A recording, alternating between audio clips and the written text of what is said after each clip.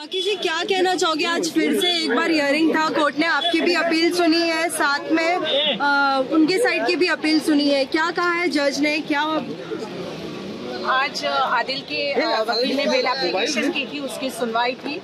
और सरकार की तरफ़ से सरकारी वकील की तरफ़ से फ्रेश रिमांड की मांग की गई है एप्लीकेशन की गई है। कि पुलिस वालों को पुलिस कस्टडी मिली नहीं थी इसके लिए उन्होंने दोबारा एप्लीकेशन किया है ताकि इन्वेस्टिगेशन अभी कुछ हुआ नहीं है। इन्वेस्टिगेशन के लिए उन्होंने वापस से पुलिस कस्टडी मिलनी चाहिए आ, मिलनी चाहिए उसकी एप्लीकेशन की है जिसका फैसला अभी थोड़ी देर में होगा। और उसकी जो बेल एप्लीकेशन थी उसकी हियरिंग ट्यूसडे को रखी गई है। अच्छा तो मतलब बेल अभी ना रिजेक्ट हुआ है ना रिजेक्ट हुआ है ना मिला है उसकी हियरिंग होगी ट्यूसडे को। ट्यूसडे के बाद जो भी फैसला आएगा ट्यूसडे के बाद ही पता चलेगा। रशी हमने देखा कि बार बार आपके वकील अंदर सभी सबूत सबूत बताने की कोशिश कर रही थी जज को लेकिन फिर भी वो कहीं ना कहीं उनको कन्विंस करने वाली बात लग रही थी। क्या सबूत क्या उनको अभी भी अप्रोप्रिएट लग नहीं रहा है? क्योंकि बहुत कोशिश की है उन्होंने। उनके सामने सबूत रखे ही नहीं गए है। पुलिस स्टेशन में अभी सबूत हम ये कह रहे हैं कि हमारे पास सबूत है पर वो सबूत अभी पुलिस स्टेशन में दिए गए हैं। कुछ और बहुत सारे देने बाकी है। अभी जज साहब के सामने कोई सबूत रखे नहीं गए हैं इसलिए उनको पता पुलिस में पुलिस स्टेशन में सारे सबूत है पुलिस के पास। जज साहब तक अभी तक वो सबूत पहुँचे नहीं है यू नो अभी तक पहुँचे नहीं है। तो जज साहब सारे सबूत देखेंगे तब वो डिसीज़न लेंगे ना। हाँ।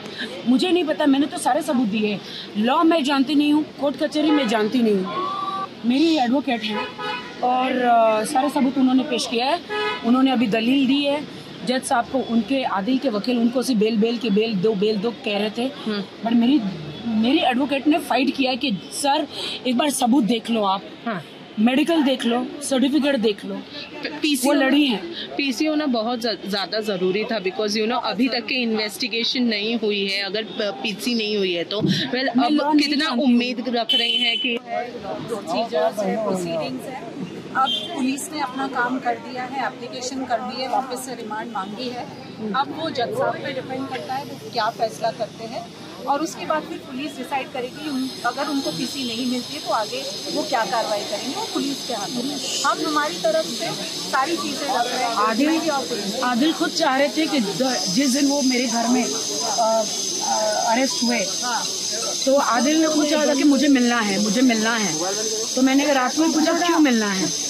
मतलब कि मुझे सुबह आके मैं मिलूँगा। तो मैंने कहा ठीक है। तो वो आए घर पे और जो कुछ भी हुआ फिर पुलिस को पता है।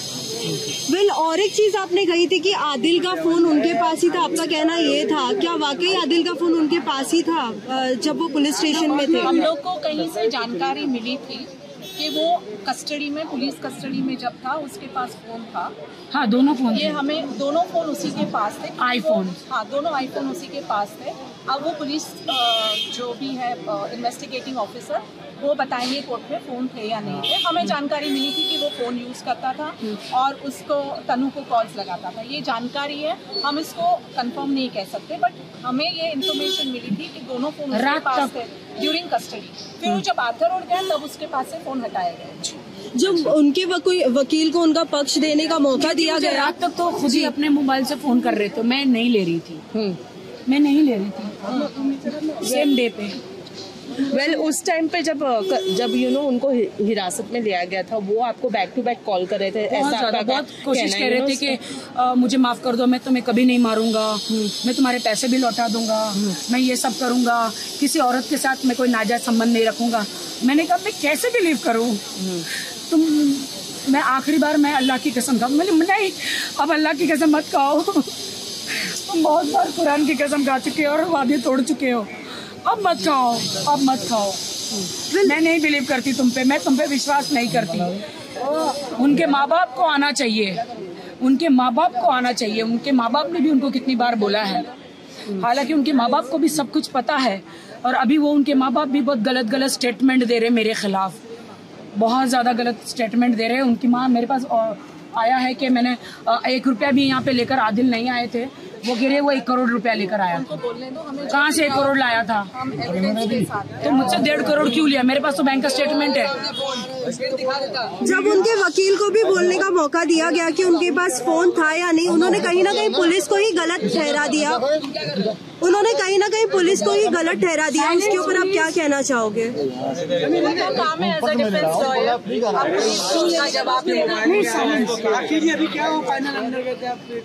एडवोकेट बताएँगे क्या हुआ फाइनल फाइनल ये है कि उसकी बेल की एप्लीकेशन पे हियरिंग ट्यूसडे को होगी और पुलिस ने जो पुलिस कस्टडी की मांग की उसका फैसला थोड़ी देर में आ जाएगा वो आप लोग को पता चलेगा। वेल फिर भी राखी हमने देखा कि उनके वकील बाहर निकले तो फिर भी आप उनकी फिर भी रिस्पेक्ट कर रही हैं आप उनको उनके बारे में आपने पूछा कि वो कैसे है? हाँ। आज भी लाइक दिल में उनके देखिए मेरा मैं शादीशुदा आज भी हूँ जी। और मेरे दिल में प्यार भी है लेकिन जो क्रूरता और जो उन्होंने मुझे सताया है वो मैं भूल नहीं सकती हूँ तो मैंने पूछा हाउ इज़ मैं मैं अभी जिम कर रही थी तो जब हम उस दिन थे तो उस दिन जज साहब ने कहा था कि मंडे को मंडे को होगा यू नो क्या मुझे नहीं पता कोर्ट का लोग का क्या कहते हैं मंडे को बुलाया जाएगा।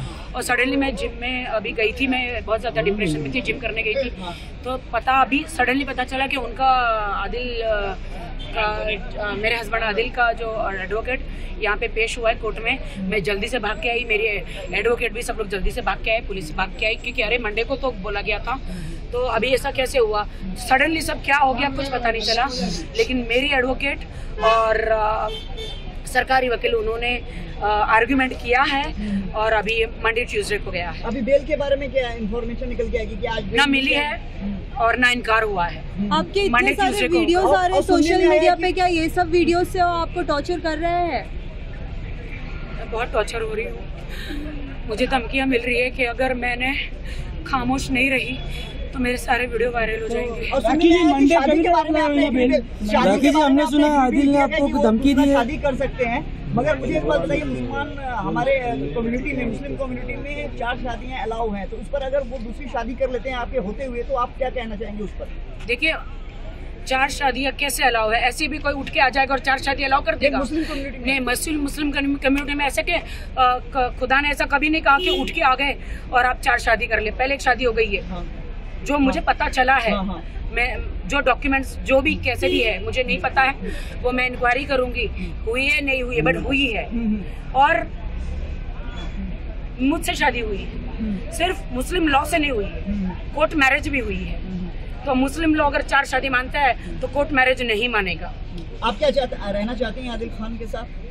नो कमेंट्स आज मंडे राखी जी हमने सुना है कि तन्नू और उसके ऊपर मैं चाहती हूँ उसे बेल ना हो। बस। राखी जी राखी जी। रिलेशनशिप अगर आप चाहते हैं